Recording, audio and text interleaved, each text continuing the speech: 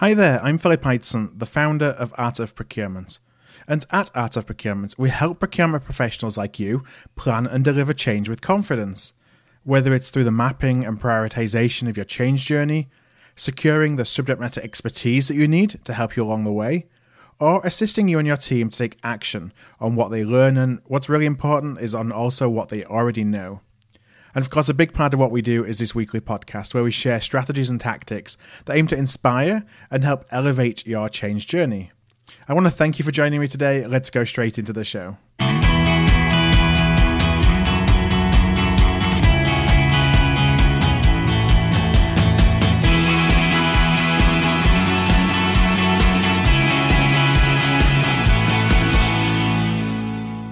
Hi there, and welcome to episode 236 of The Art of Procurement. And I'm joined today by Joanna Martinez. Joanna is founder of Supply Chain Advisors and author of the new book, A Guide to Positive Disruption How to Thrive and Make an Impact in the Churn of Today's Corporate World.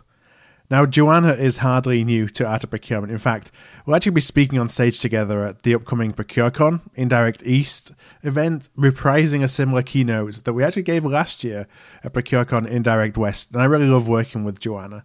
She's also appeared on the podcast a couple of times before, all the way back in episode 59 and 66 when we were talking about value based procurement and um, you know thinking about expanding the procurement value proposition between those two conversations and the one that you're going to hear today, there's no denying that Joanna's vision for procurement extends far beyond the tactical methods and measurements.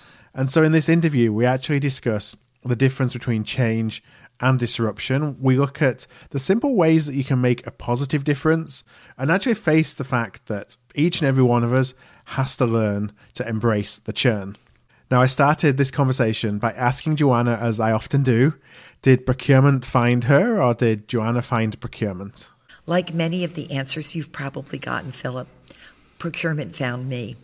I am an engineer, mm-hmm. and I was in line to be the next plant manager for a consumer products company's flagship manufacturing facility. And that was my goal. I had, most of the jobs I had had were, were preparing me for that. There was a reorganization. Uh, I didn't get that job. And I was offered a chance to go into procurement because one of the few people who survived the reorganization was the head of procurement who was beloved at the mm-hmm. company. Mm-hmm. He wanted to move in to mergers and acquisitions. He didn't have a replacement, and I was offered the opportunity to come in and learn under him uh, with an understanding that it would be years, that it wasn't going to be fast, that I wasn't just going to go from where I was to, to leading the group, but that that was a path for me if I was willing to give it a shot. So boy, it was tough. Mm-hmm. It was tough to make that decision when you had something so tangible in front of you, and then suddenly be years away from that promotion. But but I decided to give it a shot. How long then did it take for you to get that promotion from starting in procurement? A little less than three years, okay. two and a half, yeah. And I I did every role in procurement from MRO, transportation, you know, office supply, sort of you know, mm-hmm. worked my way up. So what did you do about getting a grounding in procurement then when you came into the function, you know, having come in from really not having any understanding of what procurement was?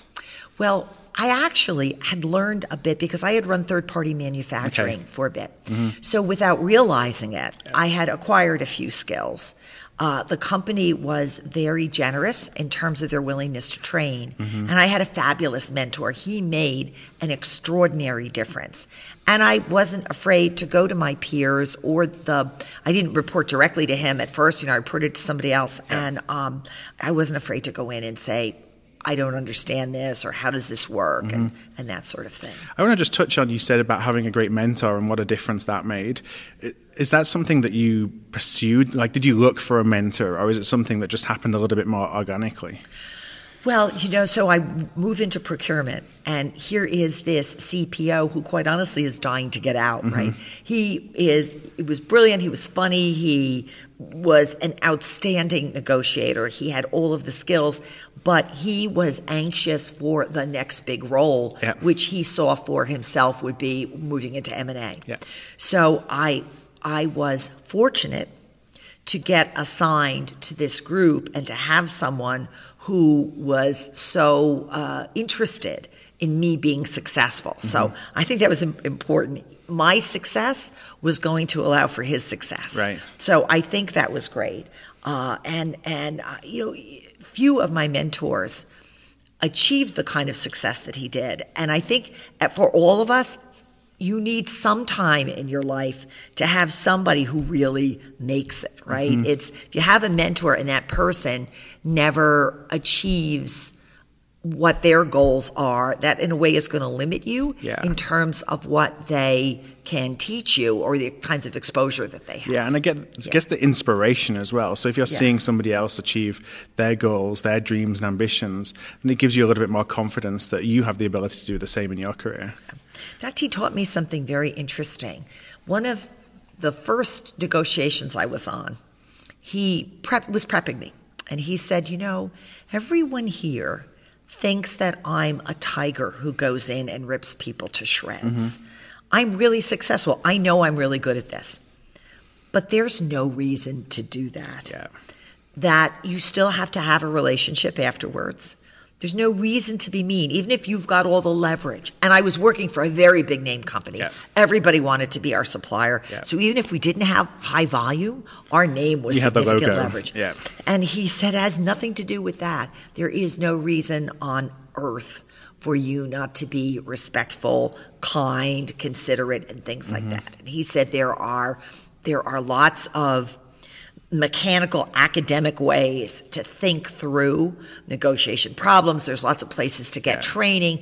Uh, with if you prepare, you go in fine, and you don't need to be banging on tables and scaring people. Yeah, and don't abuse the power that you have because you had a lot of power in those negotiations just by the nature of who you were. Right, right.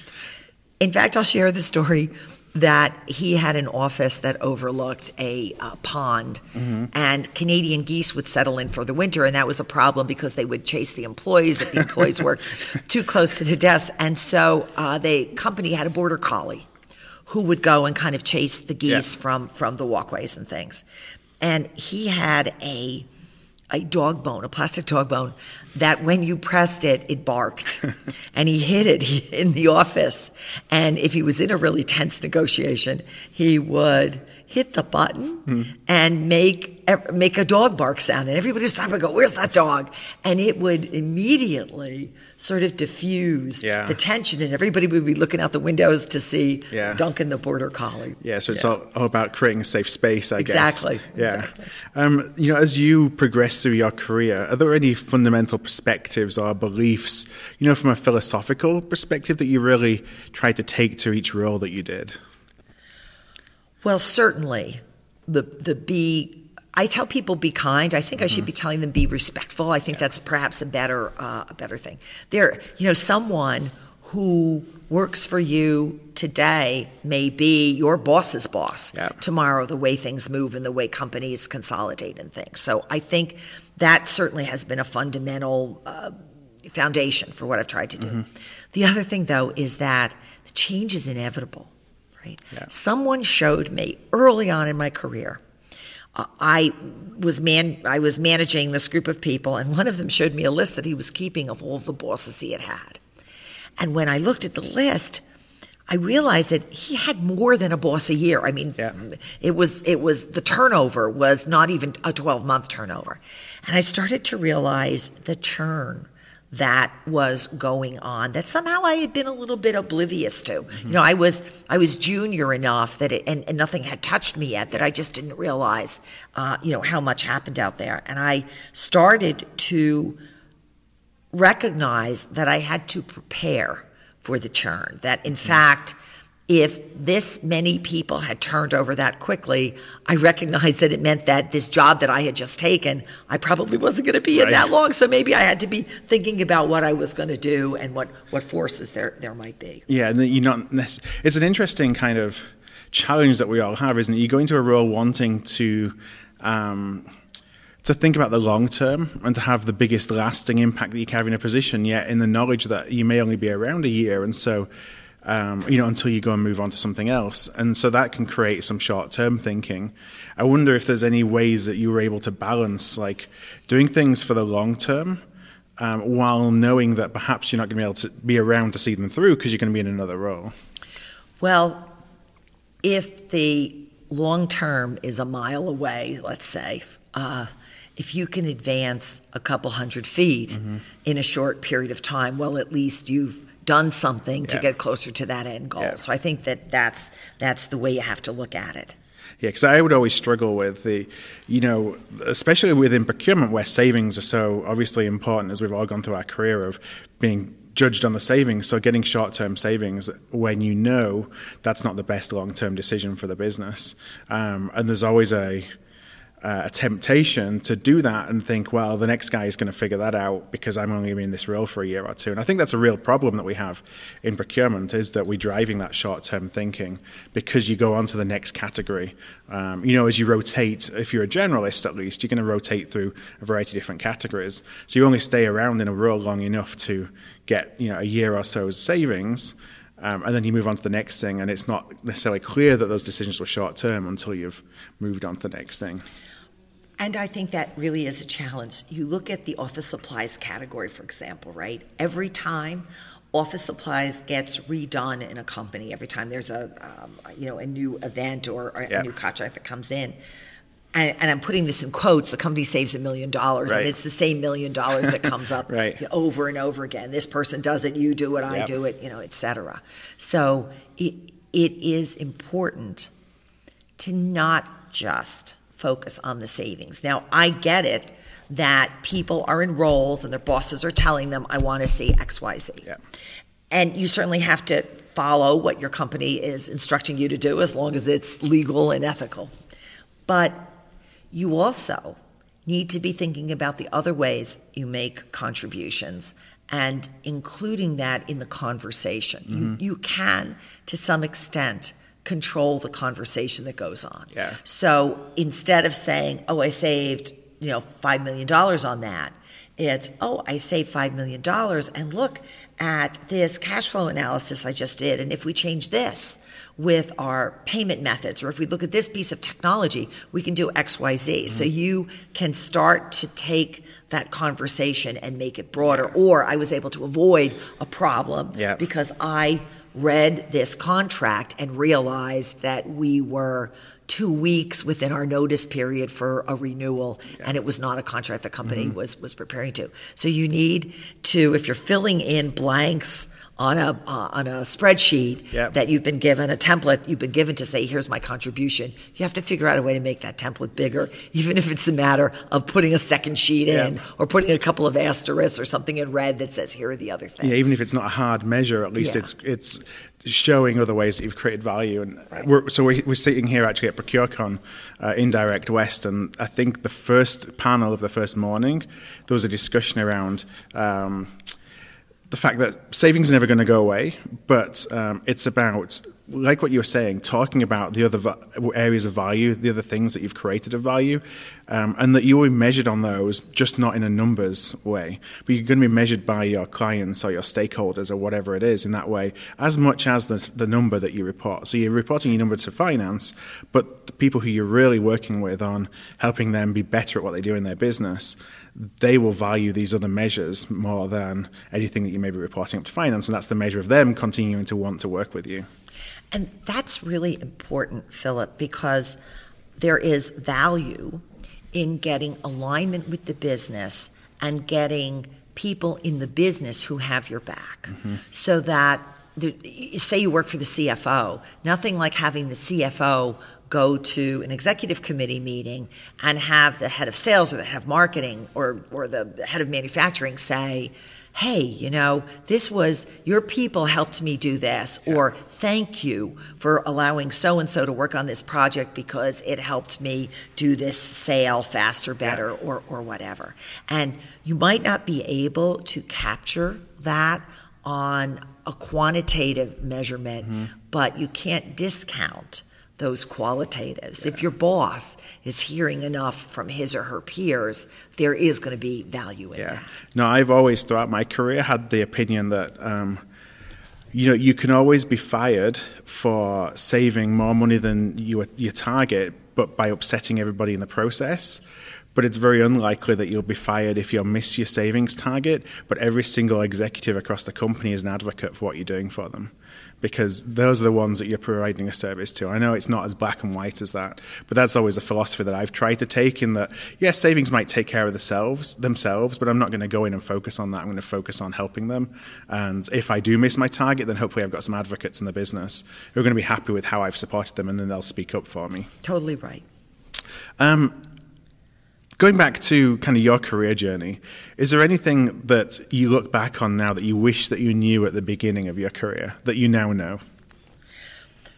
Well, I wish I had paid more attention to the other aspects of the business mm-hmm. because the reality is it is all about how much you sell, right? It's about, you know, what, what's your revenue and the expenses come second, but you need to have the revenue before you yeah. are, are worried about the expenses, right? Or not have the revenue and yeah. then you worry about the expenses. But it's all about growth and, and, yeah. and making more. Most and companies don't cut their way to success totally, totally. or growth. So I would have spent more time aligning, learning, maybe even trying to do a stint in the sales and the marketing parts of the business. Mm-hmm. I think that would have been very beneficial.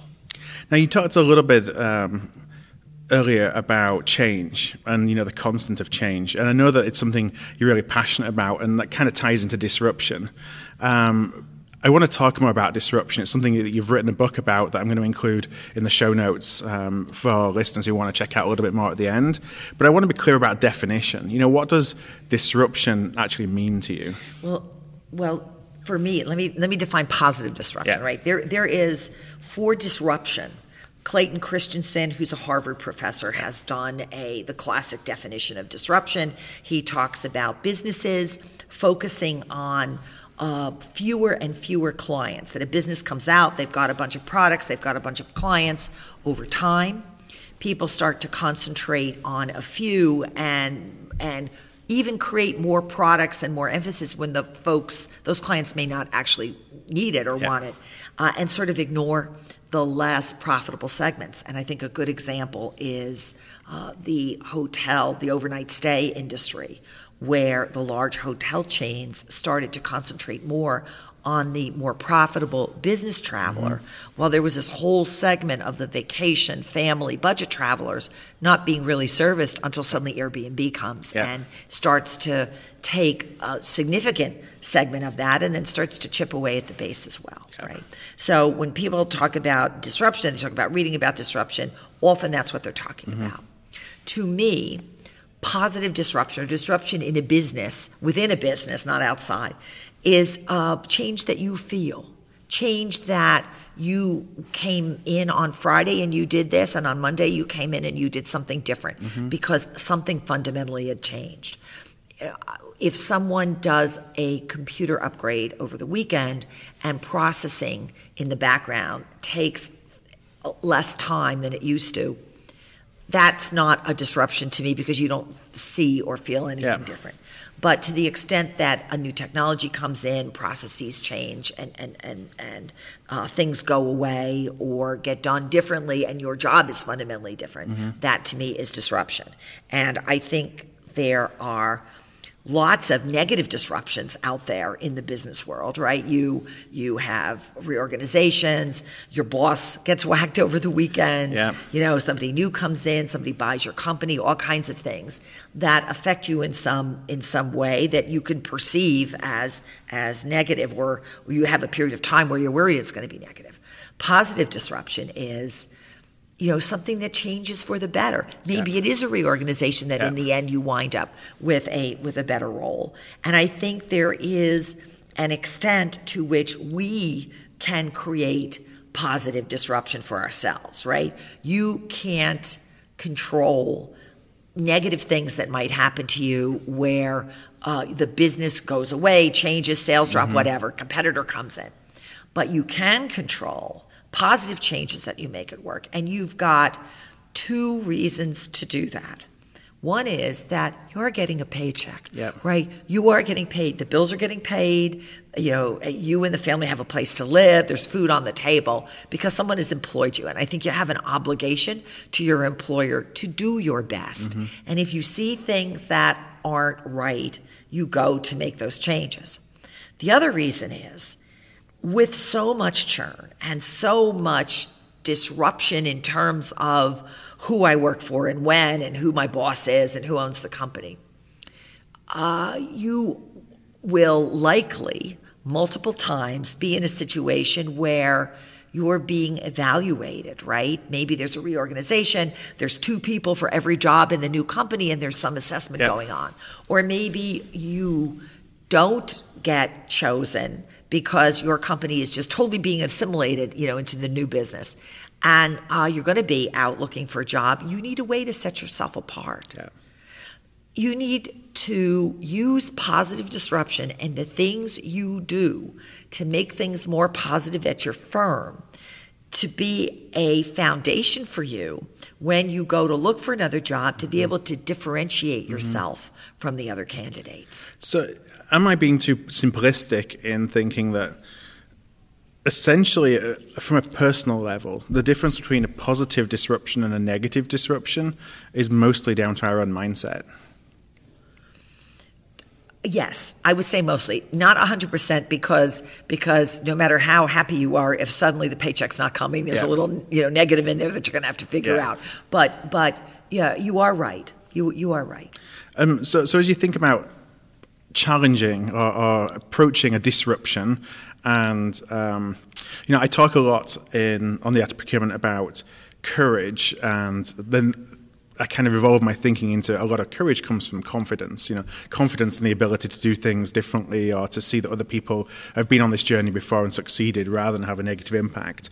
Um, how have you been able to kind of find the confidence during your career to look at a disruption and, and kind of take the positive, handle it in a positive way, um, in a way that you can take advantage of that disruption as opposed to it taking advantage of you. I spent a year, uh, maybe five years into my career, when at the end of the year I went to write my accomplishments against my goals. And I realized I had done pretty much nothing, that I had spent the entire year being worried about the effects of an impending change. And I allowed that to consume me. And I was horribly embarrassed when I looked at what I was supposed to have done over the year, realized I had 12 months to do it, and I had barely made any headway on, on anything.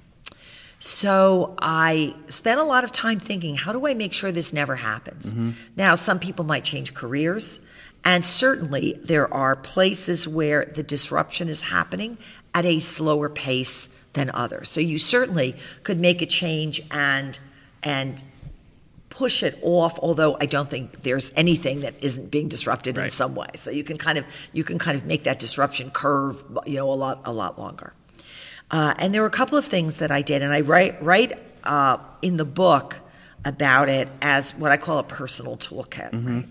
So you need to think about what am i going to do what am i going to do if this job goes away Yeah.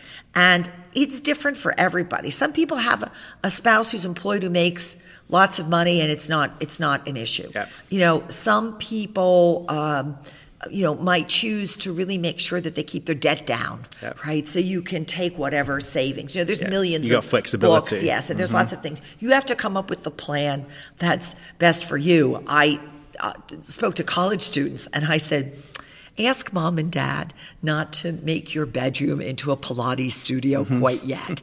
why don't you why don't you just save yourself that option of being able to go back home if things go awry, you start your new job, you're so excited, you're right Yeah. out of school, and suddenly uh, you know, your company gets purchased, and whereas moving someplace in the world that you don't want to move to. Yeah. So, um, so for me, that was important, and I think today there's this perception, right, that millennials are are so flexible and they don't care and they can go anywhere. And you know what? Perhaps that is true to some extent. However, over time, you wind up with a significant other who perhaps is in a role, you know, perhaps they're a teacher, or perhaps they're a physician. They're in a role where they're not as mobile, they're not as Yeah, they're interested in making a move. Yep. You have kids in school, you have things like that. So sooner or later, you get into a situation where um, the odds are that a disruption uh, outside of your control could be a little bit more negative than Mm-hmm. it is at the very beginning of your career. So I think you need to to do that. The other uh, two things I think you need to do is really keep those skills up. You know, I had someone in who was looking for a job in technology, and I asked him what uh, you know tell me about some interesting things. He was coming to meet a network. He knew i knew a lot of people. How i how could i help him? Tell, and i said tell me a story about something that you did that was really impactful. And he proceeds to tell me a story about the day that the first pc was brought into the office that that he worked at and i don't even know how many 40 years I- how many years ago would Right. that have been and and that was the best that was the best thing he could think of Yeah. that's a problem Yeah. right that's someone who is not going to come across well as an interview because they don't have things that are are um, are new and different and edgy and relevant Yeah. and things and you need to really keep up on that and the last piece is you can start from ground zero starting but it will take you longer right? So when there is some disruption happening uh, to the extent that you have prepared yourself by making sure that your linkedin profile is up to date that you're commenting that you are adding to your network uh, people of all levels and in all fields and things like that, because you never know where that, that next referral or idea is going to come from. You need to be building that a piece at a time because you will be impeded if you ha- are nowhere on Yeah, that. and you need to do. So I'm such a big believer of building your personal brand. You know, I always felt that when I was as a practitioner as well. There'll be things that I would do throughout my work that um, people would know that it came from me, even if it was presented by a manager, for example, because I wanted again to have a brand around the way that I spoke or the language that I used in a uh, presentation or the imagery that I used. Everything that is so that creates the business of you essentially um, and th- the time to do that is when you, you're not feeling any pressure you know the moment that you actually find yourself needing to go and get a job then you're already behind so doing it when you actually feel like you least need to do it is probably the best time to go and do it Absolutely. And it can sound like a lot, but if you take it in really small increments, you.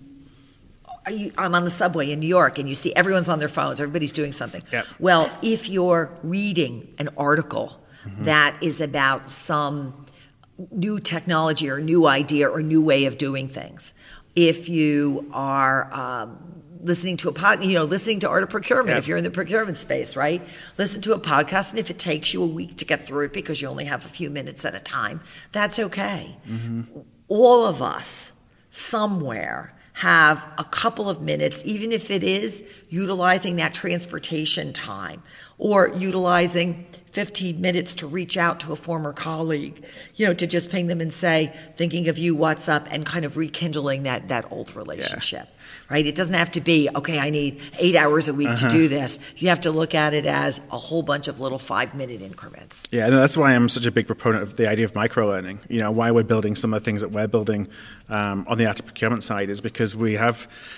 It's really hard to make the time to invest big chunks of time in doing things like that, but there's small things that you can do all the time that compound on each other. And if it's just going and, like you say, going on LinkedIn and just answering a few questions that somebody may have posed to, as a LinkedIn message or something, just things like that starts to get you known and gets your name out, and people become familiar with, you know, your photo or whatever it is. It's better than doing nothing, um, and it just kind of builds on it uh, over time. Yes, you're totally right. Uh, my book is a little under 150 pages, and it's that way on purpose. In the process of creating it and talking to authors, I learned that the trend is to reading in shorter spurts and Yeah. reading you know less. In fact one woman talked about a book club that boycotts books that are the larger than 250 pages. And um, she said that really limits what we can do when it comes to you know a, a, a big we're gonna showcase, yes right. exactly.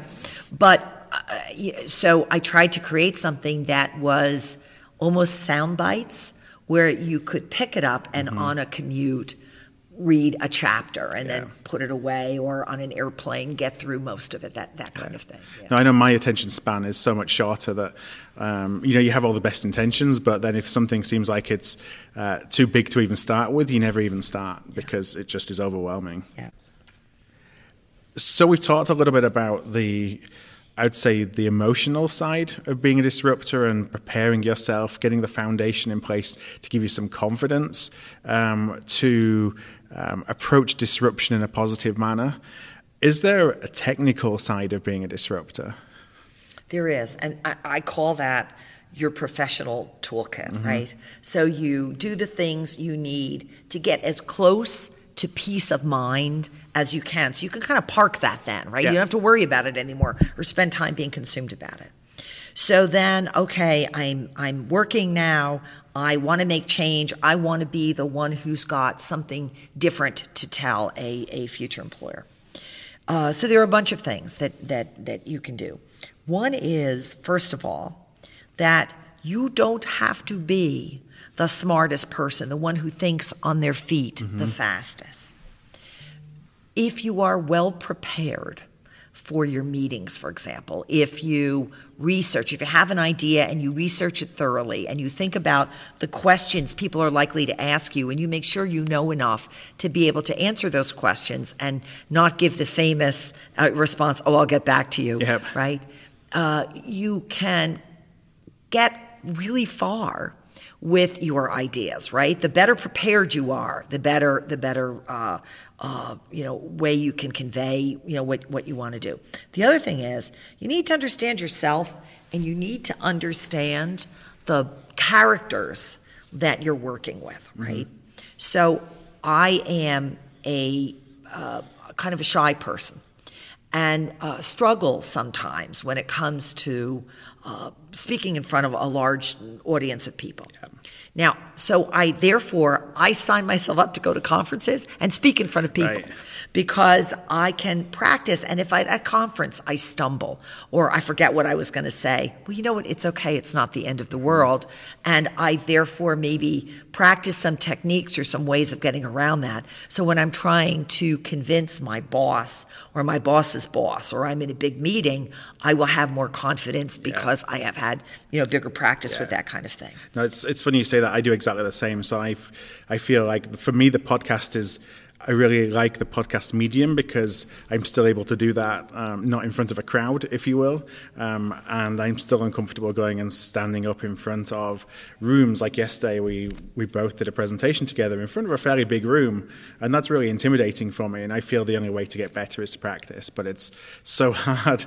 There's so much stress involved in putting yourself in that situation. I feel like every time I do it, I'm thinking, why the heck did I sign up for this again when I'm not comfortable doing it? But then hoping that every single time I get a little bit better. Yes, and for those folks listening to the podcast, Philip and I gave a presentation together at a conference and uh, had the experience of suddenly our slides not Right not being queued up right at the beginning, and so we had to kind of jump to Q and A, and actually got five star ratings. So I'm happy Oh, good. about I- that. I didn't check it. I'm always afraid to go and look and Yeah, check at what ratings are. But uh, but you know, we, that was some a place where we were, I think, prepared because Mm-hmm. we had rehearsed. We didn't anticipate that that would be the issue, but we had certainly planned ahead of time what our agenda would be and how we would handle it, so we were able to to cope with that. And probably something we couldn't have done if we if it was the first time we'd both stood up on stage. Probably, because I'd have just been like a rabbit in the headlights. yeah, yeah. Uh, so the other thing, though, you kind of understand yourself and and um, you know how you operate best. Then you've got to look at the people at work you have to influence. As everyone has a different style, so your CFO likely is going to be the numbers person, right? And so you don't go into them with an idea without an, without some sense of what's it going to cost, how long is it going to take, how many people are going to have to work on it, etc.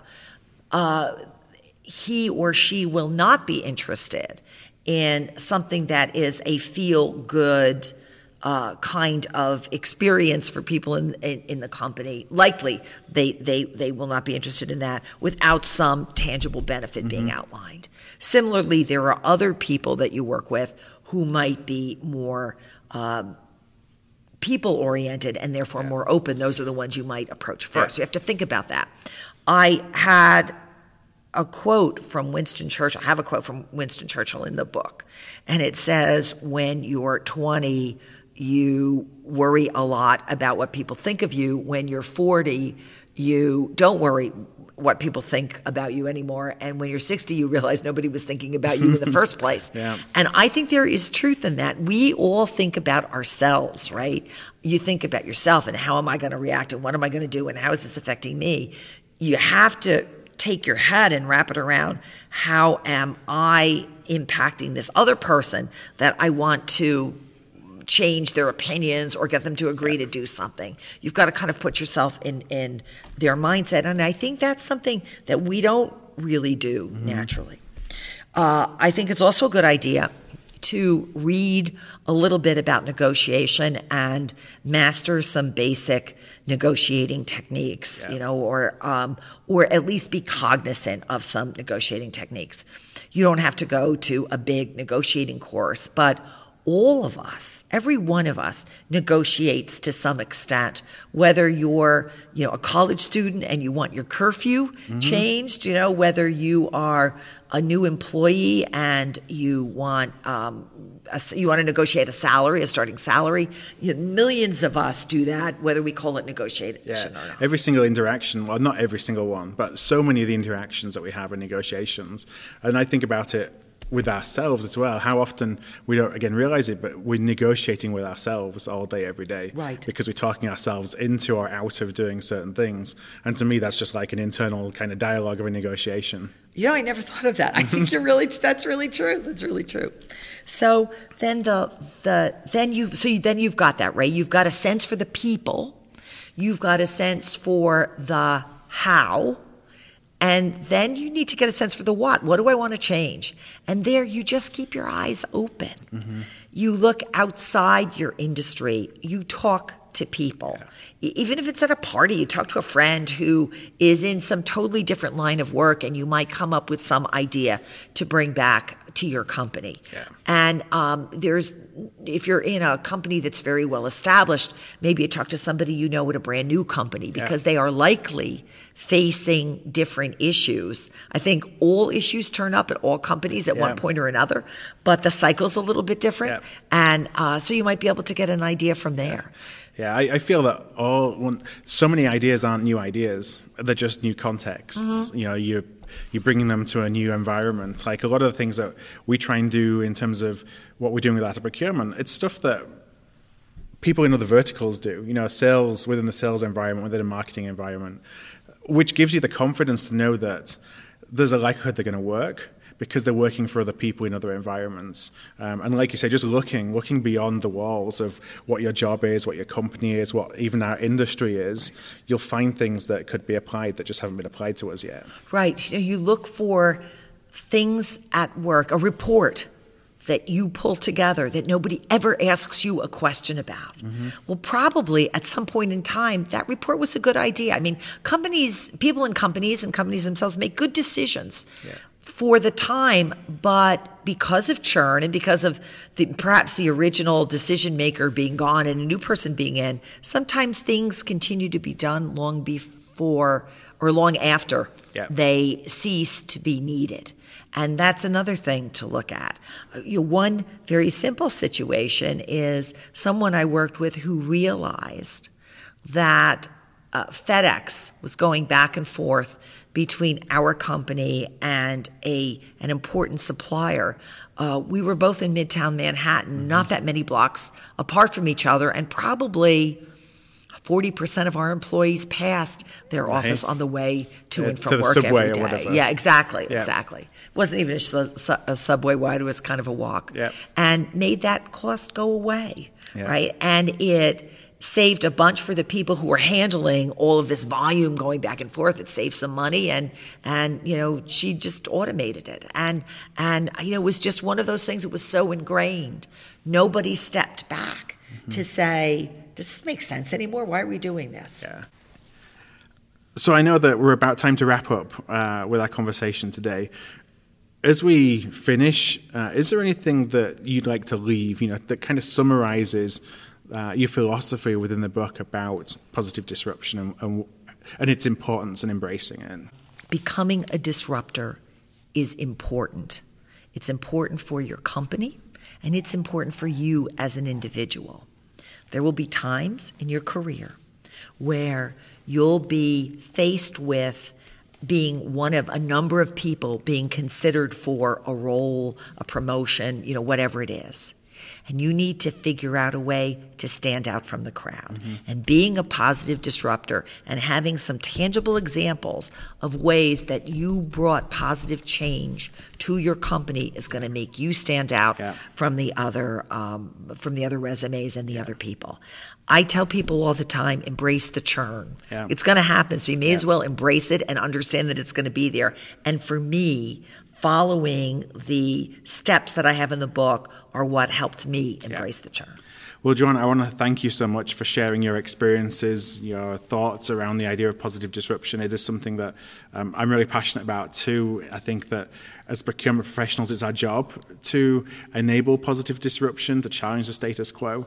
Uh, but it's often something that I've seen so many times that we fear and let it consume us. So, um, just my final question it's always the easy one that I say is that if listeners would like to find out more, um, if they would like to get their hands on a copy of the book, where would be a good place for them to go? Well, the book, A Guide to Positive Disruption, is on Amazon mm-hmm. in paperback and in Kindle. And also look for me on LinkedIn. Yeah. Yeah, Joanna Martinez. Okay. Well, what I'll do is I'll include the links to Amazon uh, for the book, and I'll also include a link to your LinkedIn profile in the show notes Thank for you. today's episode, and that's going to be at artofprocurement.com slash positive disruption, or one word.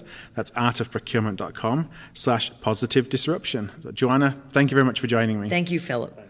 Hi there. I want to thank you for tuning in to today's podcast. You can check out all of our back catalogue at artofprocurement.com slash podcast where you can also subscribe to our newsletter to make sure that you never miss an episode. And if you found value in today's show, I'd love if you would tell a peer, or perhaps go and rate and review by going to artofprocurement.com slash review. Word of mouth really is the best way to help the podcast grow, and if you're able to do either one of those things, I would truly appreciate it.